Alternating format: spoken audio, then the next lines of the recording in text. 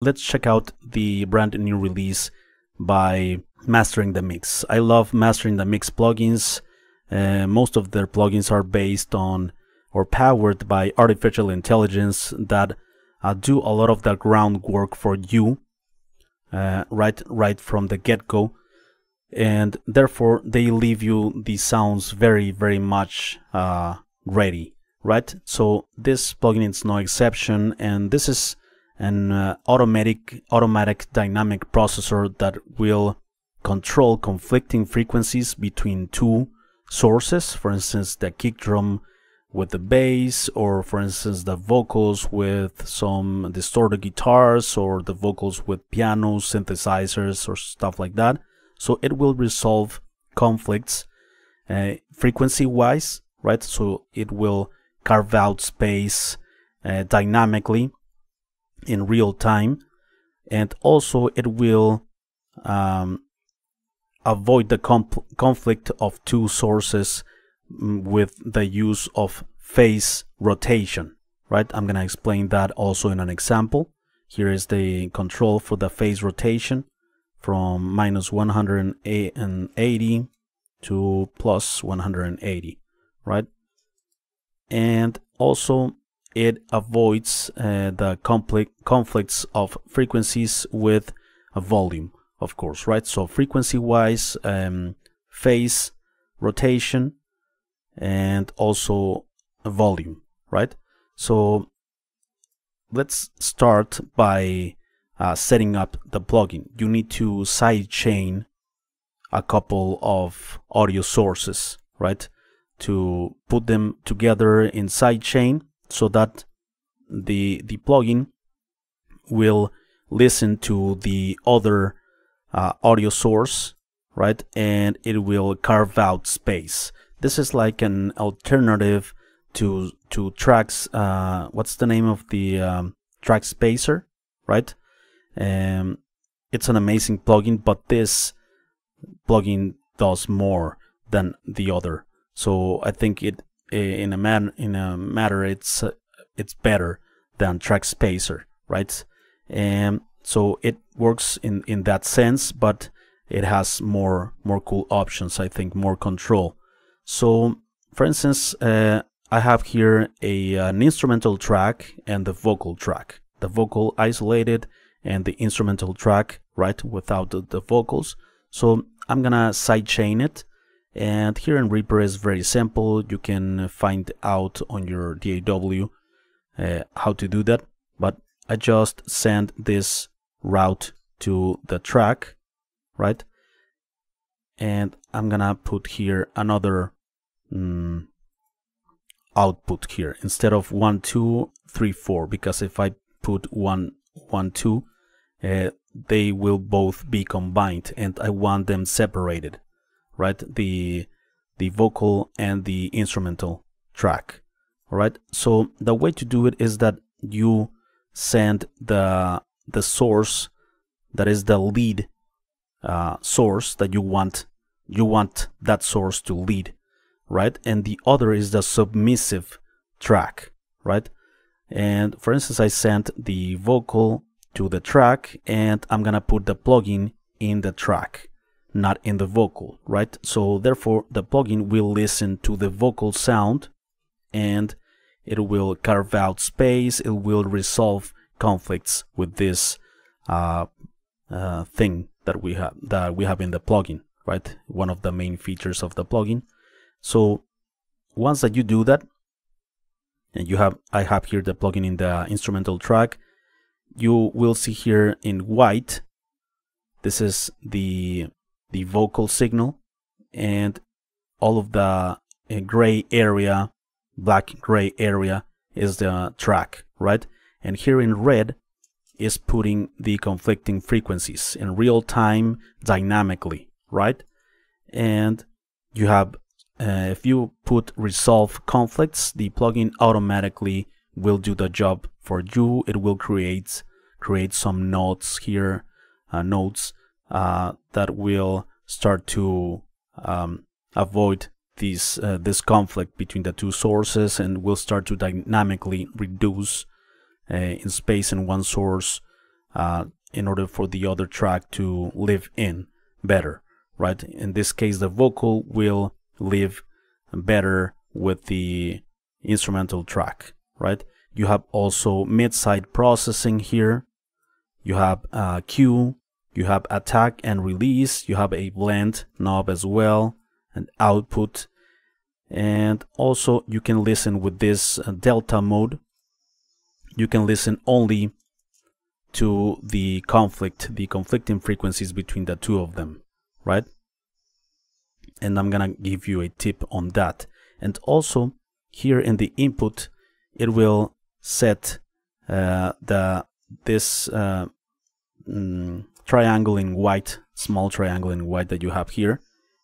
If you want to uh, put the volume of the the input track, in this case the vocal for instance, uh, you can set it uh, following that uh, triangle, right? And also this plugin has a very cool option here to gain stage. So if you put the, the amount of decibels that you have on each track on the faders, the plugin will gain stage, uh, will set the levels uh, properly as well, all right?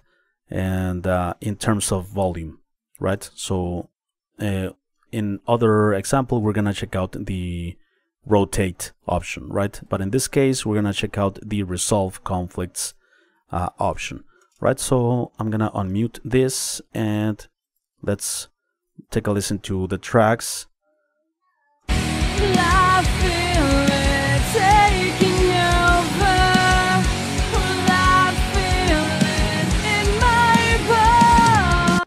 Right, so let's engage the Fuser plugin in the instrumental track. It's listening already.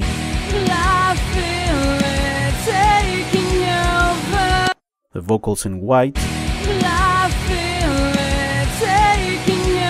Let's click resolve conflicts.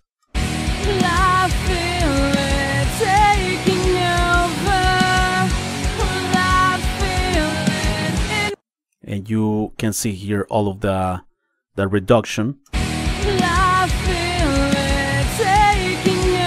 You have this band here. You can broaden or you can widen or make it narrower with your mouse wheel like that. You can create more knots like that right?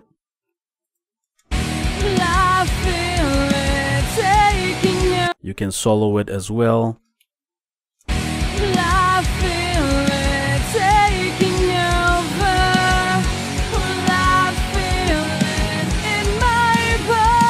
it might be subtle but if you start to use it in different uh, tracks you you will start to notice more clarity in your mix uh, without the need of uh, too much equalization for instance. So let's take a listen only to the the conflicting frequencies here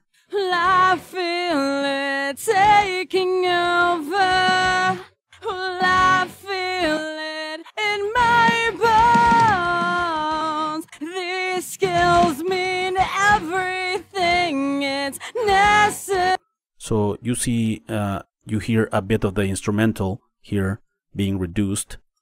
I feel it taking over. I feel it some of that is being reduced a bit when the vocals are uh, are conflicting with the instrumental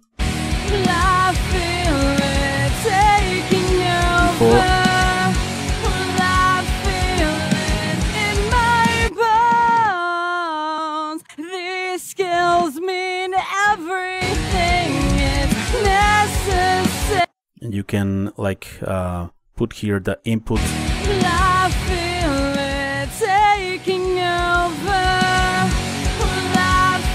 You can like put the volume if you want to increase or decrease the volume of this track the instrumental track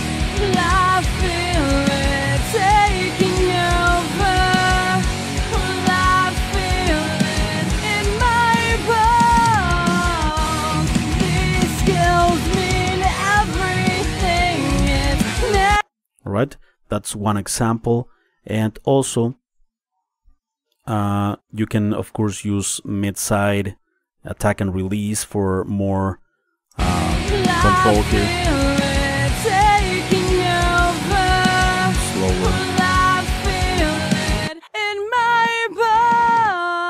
slower attack. Skills mean everything. Faster.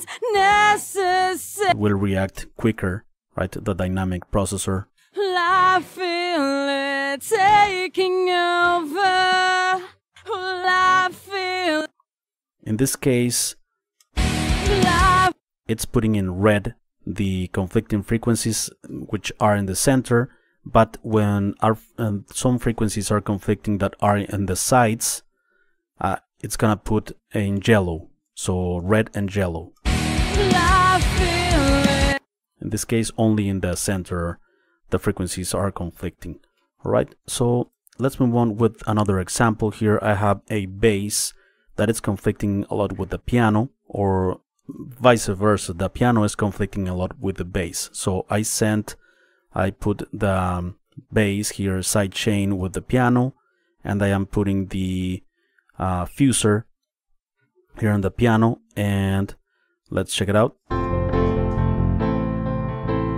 I already uh, put the resolve conflicts feature here. These are the frequencies, right? In white the bass, in gray the piano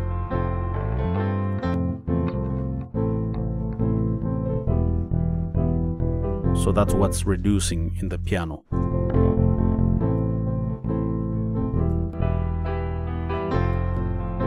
Before you can of course reduce this. And one pro tip that I saw is that you can set in solo like that like in delta mode the release to be like more in tempo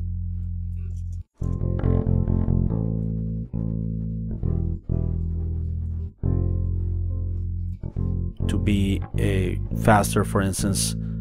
So they they are more uh, rhythmic right? And the dynamic processing is more like in tempo with the song.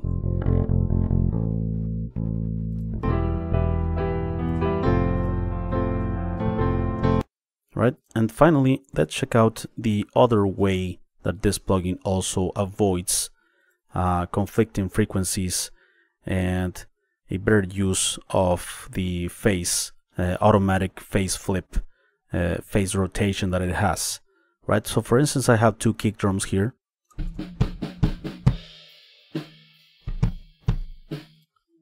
One is low kick. The other is high kick. So I uh, on purpose I uh, changed a bit the, fa the phase of one of the tracks and it's not uh, the sound it's not coming across as it should be. Uh, fuller with more bottom end so the the phase cancellation that is happening between them it's uh, it's canceling some frequencies out right? So I'm gonna uh, send uh, by sidechain as well one track to the other the kick out to the kick in for instance. I have the plugin here the fuser and right the, these are the conflicting frequencies but I'm not trying to resolve conflicts in frequencies. I'm just trying to uh, set them in phase. Automatically this plugin does it also in real time. Pretty cool. This uh, control that you have here you just click it and it analyzes the audio and it flips or rotate the phase of um, the track in order for them to put them correctly. You click, put it's uh, orange, starts to blink like that.